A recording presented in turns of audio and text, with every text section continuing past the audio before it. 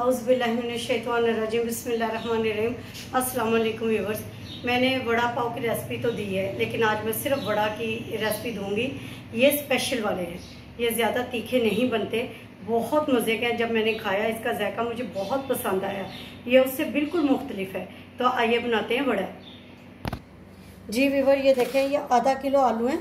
ये मैंने खूब अच्छे तरीके से उबाल लिए हैं। ठीक है जी। इसको मैशर से मैं मैश करूँगी। इसमें जाने वाले मसाले देख लीजिए। एक teaspoon sugar, half teaspoon लहसुन, हाफ़ टी स्पून अदरक और हाफ़ टी स्पून काला नमक। इसमें दूसरा नमक नहीं जाएगा, अगर आपको पसंद है तो आप डाल सकते हैं। ठीक है जी? और ये मैंने आधा प्याज लिया है। ये टू टीस्पून है। ठीक है जी? ग्रेट किया हुआ। और दो सब्ज़ मिर्च मिर्चें और एक छोटा सा लेमन है। और इसमें एक कप मैंने ये लिया है जी बेसन का। इसको मैं पानी से घोल बनाऊँगी, हल्का सा नमक डाल के और हल्की सी हल्दी डाल के। इसके अलावा इसमें कुछ नहीं जाएगा। जी वीवर अब ये सारे मसाले इसमें जाएँगे। ठीक है जी? ये मैंने डाल दिया आपके सामने। सब्ज़ मिर्च और प्याज भी जाएगा।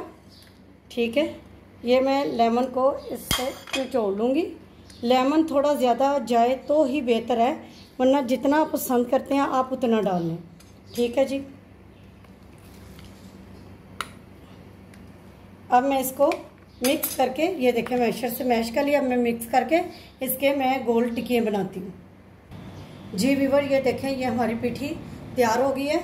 अब मैं इसमें हाफ़ टी स्पून नमक हाफ़ टी स्पून हल्दी पाउडर, ये डाल के इसको मैं आपको दिखाती हूँ, ना ज़्यादा गाढ़ा, ना ज़्यादा पतला। इसका मैं एक घोल तैयार कर लूँगी। जी वीवर ये देखें, ये मैंने इस तरह बना लिए अब मैं ये सारी फिर इसी तरह आपको तैयार करके दिखाती हूँ। जी वीवर ये देखें इस तरह आपने इनको गोल्डन फ्राई होने तक पका लेना जी वीवर ये देखें गोल्डन ब्राउन हो गए, बहुत अच्छे तरीके से अब मैं इनको निकाल लूँगी। जी वीवर ये देखें इसको ऐसे चीरा लगा के इसके ऊपर रखने के लिए ये मिर्चें मैं फ्राई करूँगी। ठीक है जी? जी वीवर ये देखा आपने स्पेशल वड़े की रेसिपी मैंने आपको दी है। उम्मीद है आपको मेरी रेसिपी पसंद आई होगी। फिर मिलेंगे एक नई रेसिपी के साथ। इजाज़त दीजिए। अल्लाह हाफिज़।